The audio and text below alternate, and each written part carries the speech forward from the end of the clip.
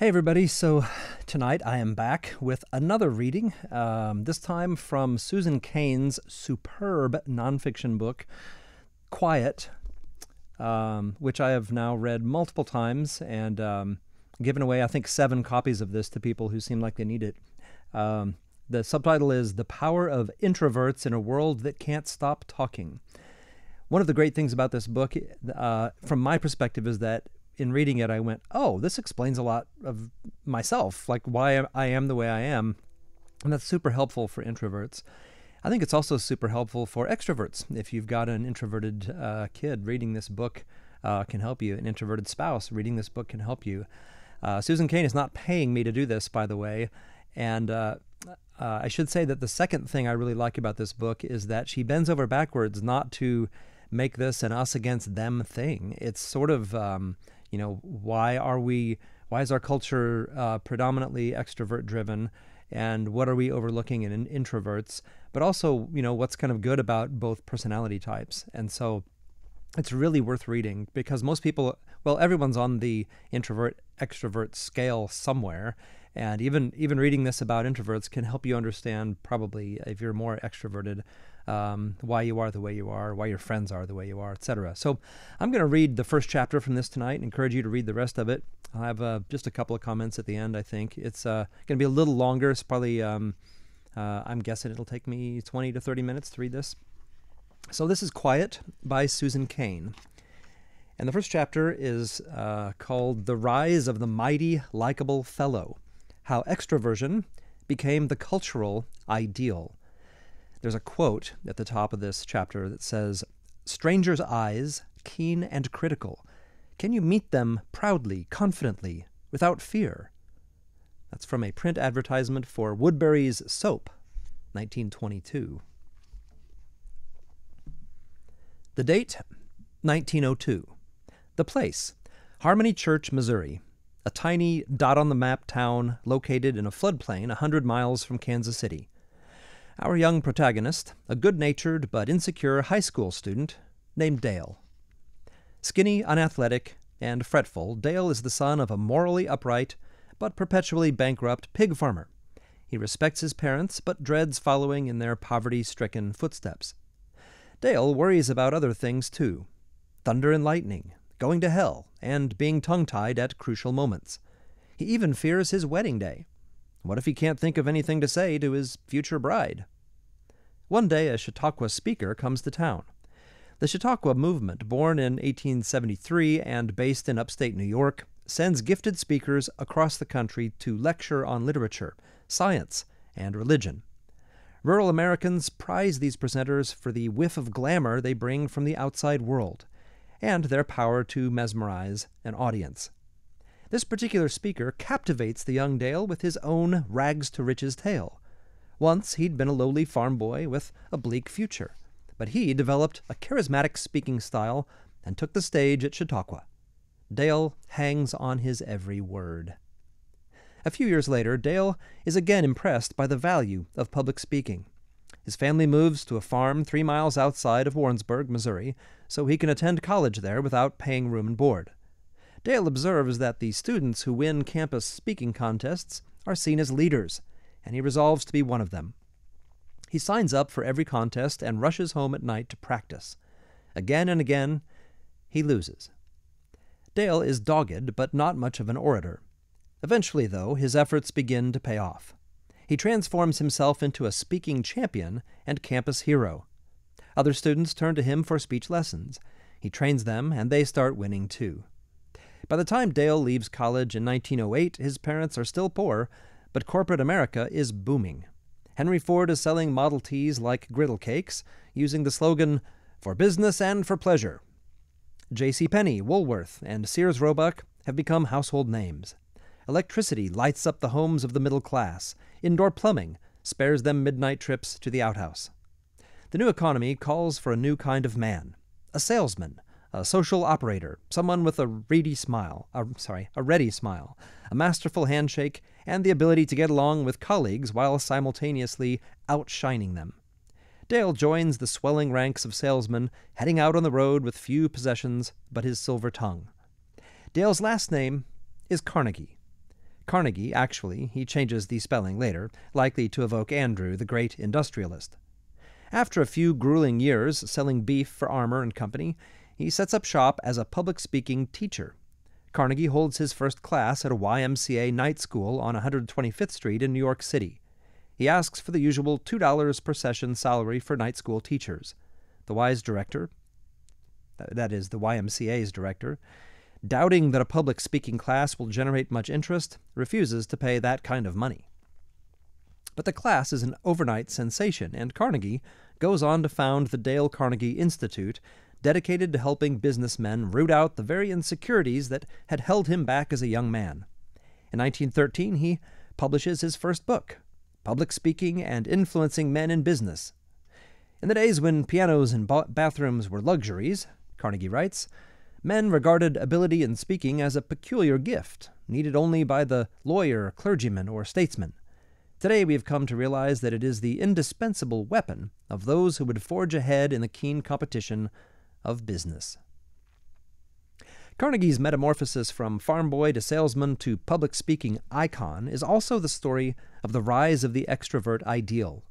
Carnegie's journey reflected a cultural evolution that reached a tipping point around the turn of the 20th century, changing forever who we are and whom we admire, how we act at job interviews and what we look for in an employee, how we court our mates and raise our children.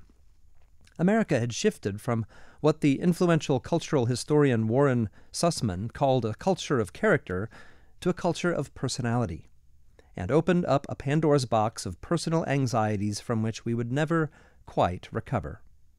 In the culture of character, the ideal self was serious, disciplined, and honorable. What counted was not so much the impression one made in public as how one behaved in public. The word personality didn't exist in English until the 18th century, and the idea of having a good personality was not widespread until the 20th. But when they embraced the culture of personality, Americans started to focus on how others perceived them.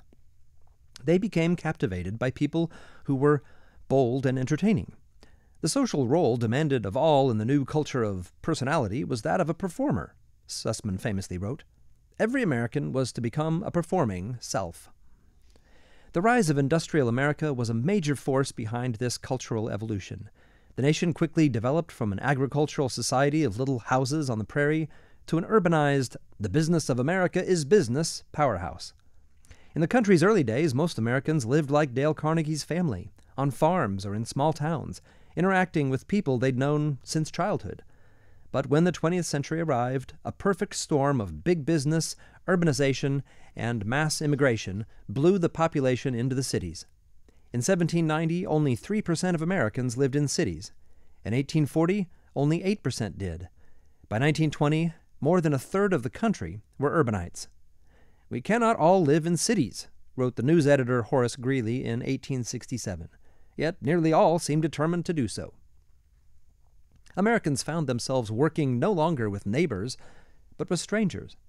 Citizens morphed into employees, facing the question of how to make a good impression on people to whom they had no civic or family ties.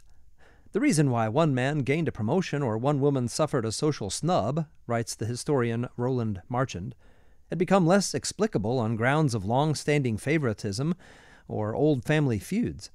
In the increasingly anonymous business and social relationships of the age, one might suspect that anything, including a first impression, had made the essential or crucial difference. Americans responded to these pressures by trying to become salesmen who could sell not only their company's latest gizmo, but also themselves. One of the most powerful lenses through which to view the transformation from character to personality is the self help tradition in which Dale Carnegie played such a prominent role self help books have always loomed large in the American psyche. Many of the earliest conduct guides were religious parables, like The Pilgrim's Progress, published in 1678, which warned readers to behave with restraint if they wanted to make it into heaven. The advice manuals of the 19th century were less religious, but still preached the value of a noble character. They featured case studies of historical heroes like Abraham Lincoln, revered not only as a gifted communicator, but also as a modest man who did not, as Ralph Waldo Emerson put it, offend by superiority. They also celebrated regular people who lived highly moral lives.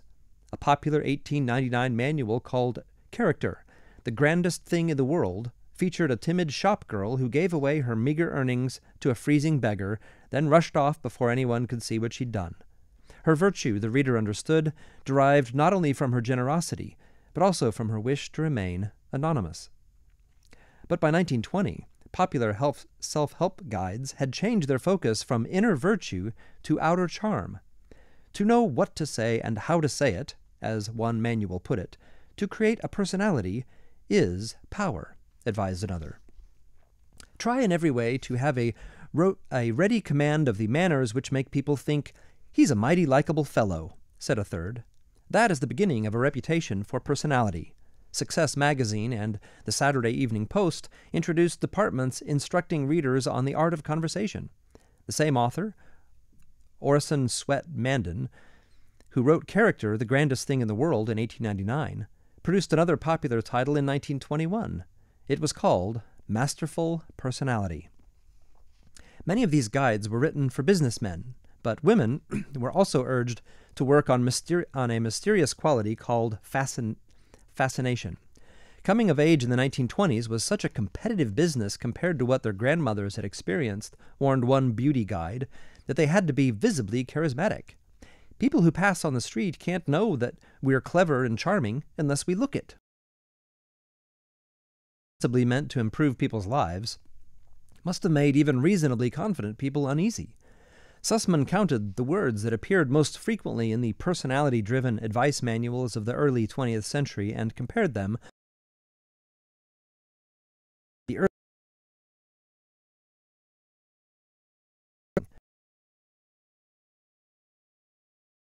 work, golden deeds, honor, reputation, morals, manners, integrity. But the new guides celebrated qualities that were no matter how easy Dale Carnegie made it sound, trickier to acquire. Either you embodied these qualities or you didn't. Magnetic, fascinating, stunning, attractive, glowing, dominant, forceful, energetic. It was no coincidence that in the 1920s and the 1930s, Americans became obsessed with movie stars. Who better than a matinee idol to, on uh, to model personal magnetism. Americans also received advice on self presentation, whether they liked it or not, from the advertising industry.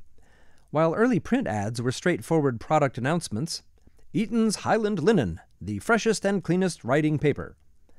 The new personality driven ads cast consumers as performers with stage fright from which only the advertiser's product might rescue them.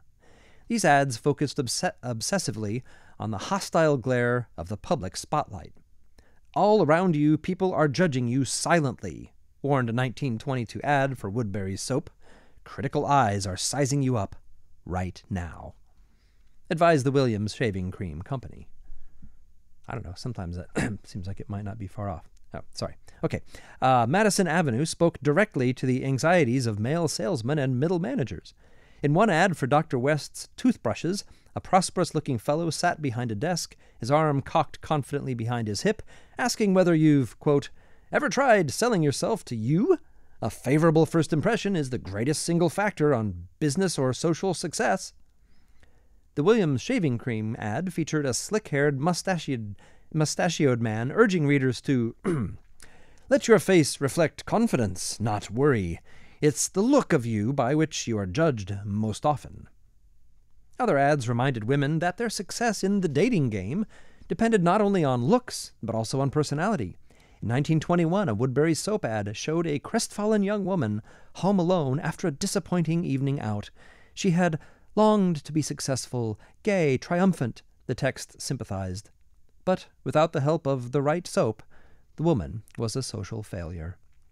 Ten years later, Lux Laundry Detergent ran a print ad featuring a plaintive letter written to Dorothy Dix, the Dear Abby of her day.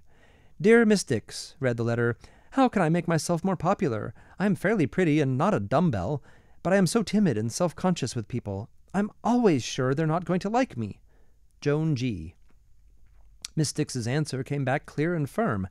If only Joan would use Lux detergent on her lingerie, curtains, and sofa cushions, she would soon gain a, quote, deep, sure, inner conviction of being charming, end quote. This portrayal of courtship as a high stakes performance reflected the bold new mores of the culture of personality. Under the restrictive, in some cases repressive, social codes of the culture of character, both genders displayed some reserve when it came to the mating dance. Women who were too loud or made inappropriate eye contact had. Um, I lost my place. Inappropriate eye contact with strangers were considered brazen. Upper class women had more license to speak than did their lower class counterparts, and indeed were judged partly on their talent for witty repartee, but even they were advised to display blushes and, with, and downcast eyes. They were warned by conduct manuals that the coldest reserve was more admirable in a woman a man wished to make his wife than the least approach to undue familiarity. Men could adopt a quiet demeanor that implied self possession and a power that didn't need to flaunt itself. Though shyness, per se, was unacceptable, reserve was a mark of good breeding. But with the advent of the culture of personality, the value of formality began to crumble, for women and men alike. Instead of paying ceremonial calls on women and making serious declarations of intention, men were now expected to launch verbally sophisticated courtships in which they threw women, quote, a line of elaborate flirtatiousness. Men who were too quiet around women risked being thought gay, as a popular 1926 guide observed, that homosexuals are invariably timid, shy, and retiring. Women, too, were expected to walk a fine line between propriety and boldness. If they responded too shyly to romantic overtures, they were sometimes called frigid. The field of psychology also began to grapple with the pressure to project confidence.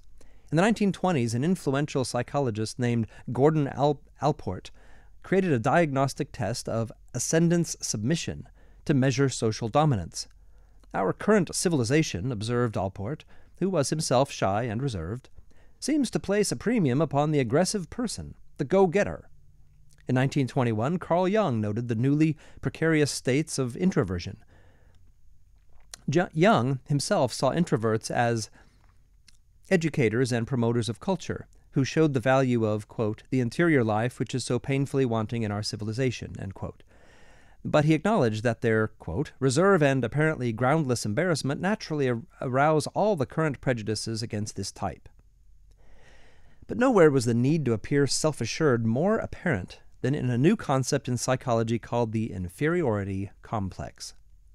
The IC, as it became known in the popular press, was developed in the 1920s via Viet, Viet, Viet, I wanted to say Vietnamese, but it's not. Viennese psychologist named Alfred Adler to describe feelings of inadequacy and their consequences.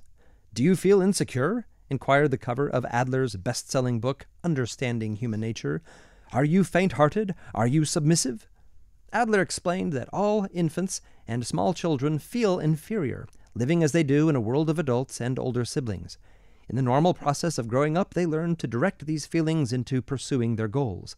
But if things go awry as they mature, they might be saddled with the dreaded IC, a grave liability in an increasingly competitive society. The idea of wrapping their social anxieties in the neat package of a psychological complex appealed to many Americans. The inferiority complex became an all purpose explanation for problems in many areas of life, ranging from love to parenting to career. In 1924, Collier's ran a story about a woman who was afraid to marry the man she loved for fear that he had an IC and would never amount to anything. Another popular magazine ran an article called Your Child and That Fashionable Complex, explaining to moms what it could cause an IC in kids and how to prevent or cure one. Everyone had an IC, it seemed. To some, it was, paradoxically enough, a mark of distinction. Lincoln, Napoleon, Teddy Roosevelt, Edison, and Shakespeare all had suffered from ICs, according to a 1939 Collier's article. So, concluded the magazine, if you have a big, husky, ingrown inferiority complex, you're about as lucky as you could hope to be, provided you have the backbone along with it. Despite the hopeful tone of this piece, child guidance experts of the 1920s set about helping children to develop winning personalities. Until then, these professionals had worried mainly about precocious girls and delinquent boys, but now psychologists, social workers, and doctors focused on the everyday child with the maladjusted personality, particularly shy children. Shyness could lead to dire outcomes, they warned. from alcoholism to suicide, while an outgoing personality would bring social and financial success. The experts advised parents to socialize their children well and schools to change their emphasis from book learning to assisting and guiding the developing personality. Educators took up this mantle enthusiastically. By 1950, the slogan of the mid century White House Conference on Children and Youth was A Healthy Personality for Every Child. Well meaning parents of the mid century agreed that quiet was unacceptable and gregariousness ideal for both girls and boys. Some discouraged their children from solitary and serious hobbies like classical music that could make them unpopular. They sent their kids to school at increasingly young ages, where the main assignment was learning to socialize. Introverted children were often singled out as problem cases, a situation familiar to anyone with an introverted child today.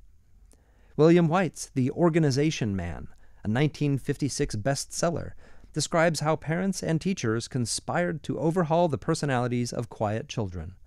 Johnny wasn't doing so well at school, Whyte recalls a mother telling him. The teacher explained to me that he was doing fine on his lessons, but that his social adjustment was not as good as it might be. He would pick just one or two friends to play with, and sometimes he was happy to remain by himself.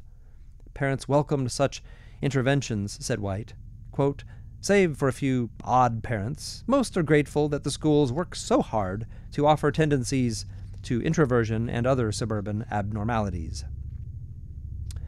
Parents caught up in this value system were not unkind or even obtuse. They were only preparing their kids for the real world. When their children grew older and applied to college and later for their first jobs, they faced the same standards of gregariousness. University admission officers looked not for the most exceptional candidates, but for the most extroverted. Harvard's provost Paul Buck declared in the late 1940s that Harvard should reject, quote, the sensitive neurotic type and the intellectually overstimulated in favor of boys of the healthy extrovert kind. In 1950, Yale's president, Alfred Whitney Griswold, declared that the ideal Yalie was not a beetle browed, highly specialized intellectual, but a well rounded man. Another dean told Whyte that in screening applications from secondary schools, he felt it was only common sense to take into account not only what the college wanted, but what, four years later, corporation, corporations' recruiters would want. They like a pretty gregarious, active type, he said, so we find that the best man is the one who's had an 80 or 85 average in school and plenty of extracurricular activity. We see little use for the brilliant introvert. This college dean grasped very well that the model employee of the mid century, even one whose job rarely involved dealing with the public, like a research scientist in a corporate lab, was not a deep thinker, but a hearty extrovert with a salesman's personality. Customarily, whenever the word brilliant is used, explains Whyte, it either precedes the word but, e.g., we are all for brilliance, but, or is coupled with such words as erratic, eccentric, introvert, screwball, etc. These fellows will be having contact with other people in the organization, said one 1950s executive about the hapless scientists in his employ, and it helps if they make a good impression. The scientist's job was not only to do the research, but also to help sell it, and that required a hail fellow well met demeanor. At IBM, a corporation that embodied the ideal of the company man, the sales force gathered each morning to belt out the company anthem, Ever Onward, and to harmonize on the Selling IBM song set to the tune of Singin' in the Rain. Sellin' IBM, it began. We're sellin' IBM. What a glorious feeling, the world is our friend. I could have sung that for you, but then you would have stopped listening, right? The ditty built to a stirring close. We're always in trim, we work with a vim, we're selling, we're selling IBM. Then they went off to pay their sales calls, proving that the admissions people at Harvard and Yale were probably right. Only a certain type of fellow could possibly have been interested in kicking off his mornings this way. The rest of the organization men would have to manage as best they could. And if the history of pharmaceutical consumption is any indication, many buck, buckle, sorry, buckled under the pressures. In 1955, a drug company named Carter Wallace released the anti anxiety drug Miltown, reframing anxiety as the natural product of a society that was both dog eat dog and relentlessly social. Miltown was marketed to men and immediately became the fastest selling pharmaceutical in American history, according to the social historian Andrea Tone. By 1956, one of every 20 Americans had tried it, By 1960, a third of all prescriptions from U.S. doctors were for Miltown or a similar drug called Equintil, Equinil. Anxiety and tension are the commonplace of the age, read the Equinil, Equinil ad. The 1960s tranquilizer Serentil followed with an ad campaign even more direct in its appeal to improve social performance. For the anxiety that comes from not fitting in, it explained. Of course, the extrovert ideal is not a modern invention. Extroversion is in our DNA, literally, according to some psychologists. The trait has been found to be less prevalent in Asia and Africa than in Europe and America, whose populations descend largely from the migrants of the world. It makes sense, say these researchers, that world travelers were more extroverted than those who stayed home, and that they passed on their traits to their children and their children's children. As personality traits are genetically transmitted, writes the psychologist Kenneth Olson, each succeeding wave of emigrants to a new continent would give rise over time to a population of more engaged individuals than, than reside in the emigrant's continent of origin. We can also trace our admiration of extroverts to the Greeks, for whom oratory was an exalted skill, and to the Romans, for whom the worst possible punishment was banishment from the city, with its teeming social life. Similarly, uh, similarly, we revere our founding fathers precisely because they were loudmouths on the subject of freedom. Give me liberty or give me death. Even the Christianity of early American religious revivals, dating back to the First Great Awakening of the 18th century, depended on the showmanship of ministers who were considered successful if they caused crowds of normally reserved people to weep and shout and generally lose their decorum.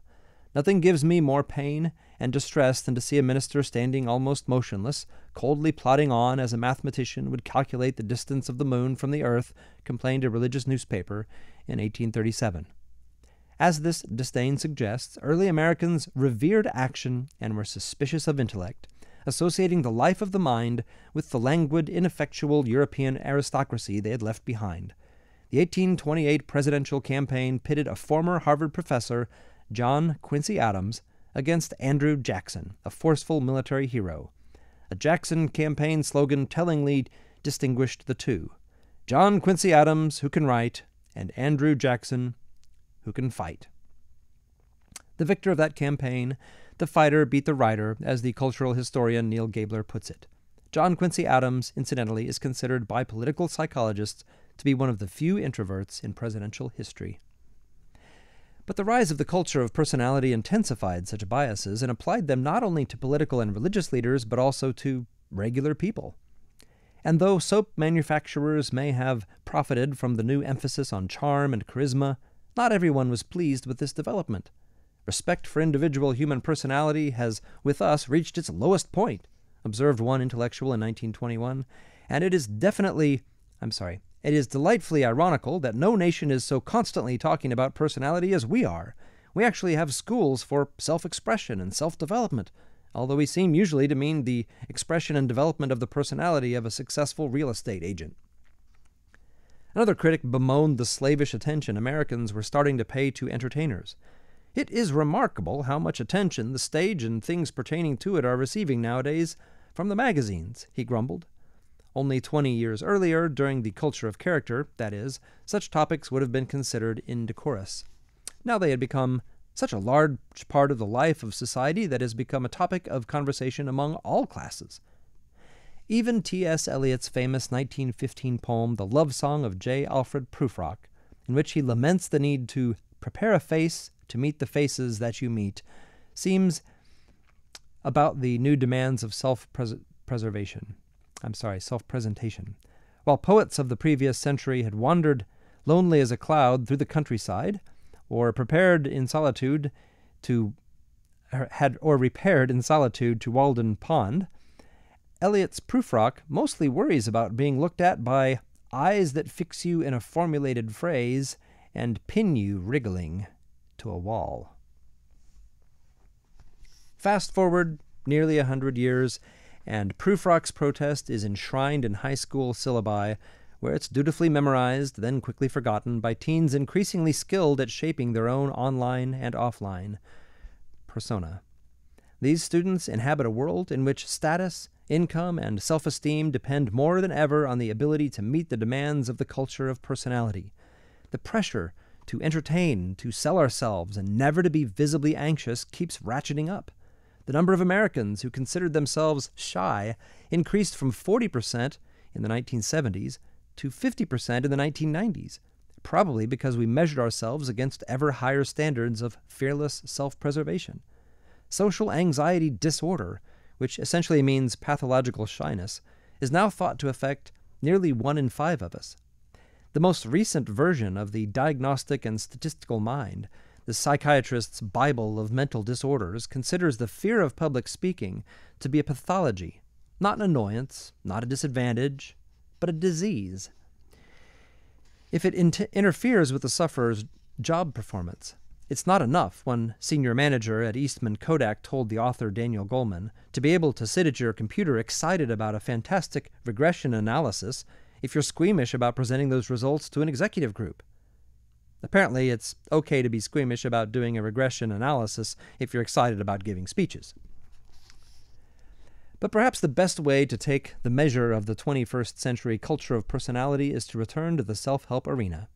Today, a full century after Dale Carnegie launched that first public speaking workshop at the YMCA, his best selling book, How to Win Friends and Influence People, is a staple of airport bookshelves and business bestseller lists. The Dale Carnegie Institute still offers updated versions of Carnegie's original classes, and the ability to communicate fluidly remains a core feature of the curriculum. Toastmasters, the nonprofit organization established in 1924, whose members meet weekly to practice public speaking, and whose founder declared that, quote, all talking is selling, and all selling involves talking, is still thriving, with more than 12,500 chapters in 113 countries. The promotional video on Toastmasters' website features a skit in which two colleagues, Eduardo and Sheila, sit in the audience in the sixth annual Global Business Conference as a nervous speaker stumbles through a pitiful presentation. I'm so glad I'm not him, whispers Eduardo. You're joking, right? replies Sheila with a satisfied smile. Don't you remember last month's sales presentation to those new clients? I thought you were going to faint. I wasn't that bad, was I? Oh, you were that bad. Really bad. Worse, even. Eduardo looks suddenly ashamed, while the other while the rather insensitive Sheila seems oblivious. But, says Sheila, you can fix it. You can do better. Have you ever heard of Toastmasters? Sheila, a young and attractive brunette, hauls Eduardo to a Toastmasters meeting. There she volunteers to perform an exercise called Truth or Lie, in which she's supposed to tell the group of 15 odd participants a story about her life, after which they decide whether or not to believe her. I bet I can fool everyone, she whispers to Eduardo, sotto voice as she marches to the podium. She spins an elaborate tale about her years as an opera singer, concluding with her poignant decision to give it all up to spend more time with her family. When she's finished, the Toastmaster of the evening asks the group whether they believe Sheila's story. All hands in the room go up. The Toastmaster turns to Sheila and asks whether it was true. I can't even carry a tune, she beams triumphantly. Sheila comes across as disingenuous, but also, oddly, sympathetic. Like the anxious readers of the 1920s personality guides, she's only trying to get ahead at the office. There's so much competition in my work environment, she confides to the camera, that it makes it more important than ever to keep my skills sharp. But what do sharp skills look like? Should we become so proficient at self preservation that we can dissemble without anyone suspecting? Must we learn to stage manage our voices, gestures, and body language until we can tell, sell any story we want? These seem venal aspirations, a marker of how far we've come, and not in a good way, since the days of Dale Carnegie's childhood. Dale's parents had high moral standards. They wanted their son to pursue a career in religion or education, not sales. It seems unlikely that they would have approved of a self improvement technique called truth or lie. Or, for that matter, of Carnegie's best selling advice on how to get people to admire you and do your bidding. How to Win Friends and Influence People is full of chapter titles like Making People Glad to Do What You Want and How to Make People Like You Instantly all of which raises the question how did we go from character to personality without realizing that we had sacrificed something meaningful along the way? That is the first chapter of Susan Cain's Quiet, The Power of Introverts in a World That Can't Stop Talking. I said I would comment on that. Uh, she did such a good job. I don't really have a, uh, a comment on the text itself. I just um, wanted to mention that um, a couple things. First of all, uh, when I was in college, my first year of college, so I was would have been 18 years old. I took a speech class, a required speech class, and um, the professor assigned Dale Carnegie's book, How to Win Friends and Influence People. And uh, I read it uh, because it was an assigned book. And I remember talking to him in the hallway outside of class one day. He said, um, So, how did you like the Dale Carnegie's book? And I said, and I could tell he really wanted me to like it. That he was he was an extroverted guy and a nice guy and a good teacher. And and uh, I said, Well, to be honest, I hated it. And he said, Why? I mean, I could I could tell he was shocked. You know, how could anyone hate this book? And I said, I said, honestly, I was I was appalled. Every single chapter was like how to manipulate people and be fake. It's like it should be called How to Be Fake. That's what the book should be called. So I don't remember what happened in our conversation after that. I know um, I felt like he was his expression, as I recall it, was of someone who has just seen an injured puppy who is about to be crushed by the weight of the world or something. Um, that's my that's my experience with Dale Carnegie. Actually, one of Dale Carnegie's uh, books is on the Good Books Guide that we have. It's called uh, Lincoln the Unknown or The Unknown Lincoln, which is actually a very well done book that I will be reading from later on. The other comment I wanted to make was that uh, this book uh, helped me in that um, not just because it showed me something about myself, but I, I enjoyed her diagnosis of our culture, which is that that idea that being shy or being an introvert is somehow wrong or problematic or a disease. I've actually had people at churches pray for me to not be shy, which I find kind of funny. Um, I don't say that because I'm an introvert and why challenge people, right? Uh, but I find it kind of humorous. So um, I also want to mention the Good Books Guide. Uh, you know, the Good Books Guide is free. We're not actually selling anything with the Good Books Guide. We're just trying to get it out there. Um, I'm going to hold up some some books that we have. We have a bunch of them. I'm going to do it quickly. If you actually if you sign up for the Good Books Guide, just down it's a download, and then you'll get four emails that have a series called Worldviews in Literature, where I go through, um, well, worldviews in literature and how to read read literature and understand uh, what's going on in it as the author's worldview and the truths that the author is communicating. Um, but you you can you also be signed up for, to win a monthly bundle. So we're doing these. I don't know how long we'll keep doing it, but we've done two. This is our third one. Uh, we're doing it on death and dying is one. It's a de- well, re- I'm sorry, death and resurrection is what it is because we're April, so Easter. Um, so the first book, Secret Garden, also, we've also got Charlotte's Webs, a, a nice hardcover with the Newbery Award sticker on there. Uh, great book by George MacDonald, At the Back of the North Wind. And then um, some of you may have heard of The Bridge to Terabithia, or um, Kate DiCamillo's um, Because of Winn-Dixie, also with the Newbery Honor stamp on it, uh, or A Monster Calls. This is a really great, uh, great book with interesting, uh, interesting layout. It's not really a picture book, but it has it's illustrated in a really um, cool way. Its format is is uh, intriguing. And then one of my favorite books of all time, this is probably in my top three or five books, The Book of the Dun Cow by Walter Wangerin Jr., the author um, who wrote The Crying for a Vision, the, the book that I read from last week. Um, we've got The Little Prince. We've got this massive tome here, a special anniversary hardcover edition of The Book Thief by Markus Zusak. And then three more, and we're done. Uh, we've got Keturah and Lord Death, which was a National Book Award finalist uh, recommended by Tinica. And then this really cool hardcover version of The Inquisitor's Tale. Uh, it's a book that um, Rachel really likes, and I still need to read. I haven't read it yet. It's a, also a Newbery Honor book, and then our picture book for this this session is uh, Saint George and the Dragon. So you could win those, um, and even if you don't win those, um, if you share the guide, we'll keep entering your name in the drawing for months to come, as long as you're on, on the uh, on the newsletter list. So thanks for watching. Hope you enjoyed. Remember, the book is Quiet by Susan Cain, and uh, I hope you enjoyed it. All right. Thanks, everybody. Have a good night.